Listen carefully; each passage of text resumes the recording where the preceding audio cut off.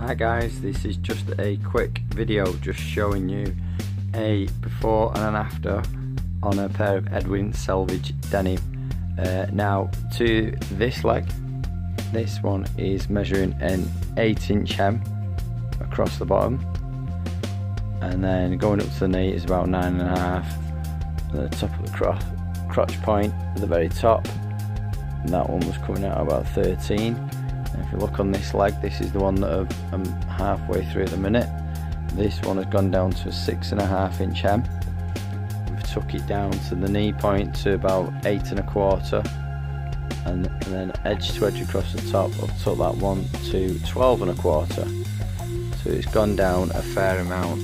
Now if you can see how gradual I've took that in there from top to bottom it's really gradual. There's no real transition point that you can see at all. Not any there at all so it's nice. And as original as the manufacturer would do it. Now obviously you can see on the original one you do have the inside stitching. On the one that I've done there that is removed. So you will lose that in the process. Um, if you're in a real jean africando I can put it back. But that would involve stripping down the outside seam to put the inside seam back if that makes sense because when they're manufacturing them all this is undone and then they'll top sew it first. So yeah you probably get what I mean. Yeah so but for the, I'd say 99 times out of 100 we do it this way because the majority of the time what you guys are bothered about is the fact that you get your outer selvage seam actually intact exactly original as the manufacturer did it. I don't even touch this side at all when I'm tapering it. Unless we're doing the um, the spread where I spread this one wider. And the only reason why I do that is if the crotch point is, is going to be too tight on somebody because it affects the rise slightly as well. As you can see there it's, it's come up slightly about that much. So you know that's something else to look out for. So yeah but these are a pair of Edwin selvage jeans.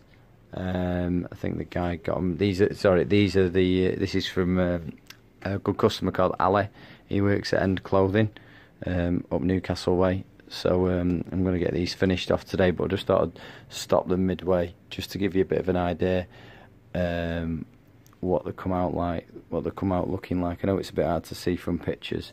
I just think sometimes the video is a bit more informative just to give you a bit of a better idea.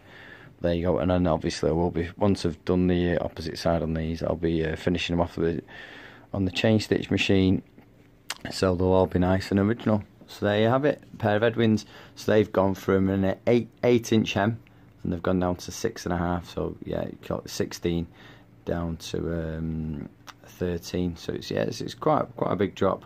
But he's um, he's a fan of um, APCs, and uh, as you know, they're about six and a half, seven inch, um, depending on which one you get, the new petite standards or the standards. So yes, we wanted a more uh, replicating from that cut from the APCs. So there we have it. Yeah, yeah, and they've come out. They'll come out really well once they're done.